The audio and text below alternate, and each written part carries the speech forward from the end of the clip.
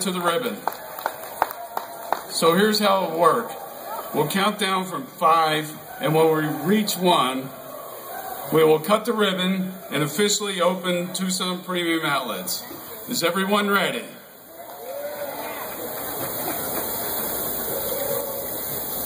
Five, four, three, two, one.